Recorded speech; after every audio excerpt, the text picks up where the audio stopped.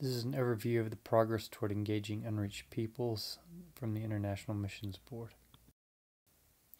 There are 11,750 people groups in the world, some engaged and have received and accepted the gospel, some engaged but have not received it, uh, and those that have not been engaged. There are 4,700 people groups who have been engaged with the gospel and have received it.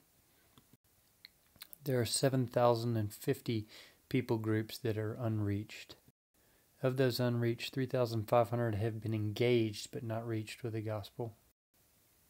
And 3,250 have never heard the gospel before. This map shows the distribution of the three different types of groups. Each dot represents 50,000 persons. These are those who have been reached with the gospel and accepted it. This displays the unreached in both categories of engaged and unengaged. These are the ones that have been engaged but not received Christ yet. And these are those who have never been reached with the gospel, never heard the name Jesus. And these are the ones that we focus on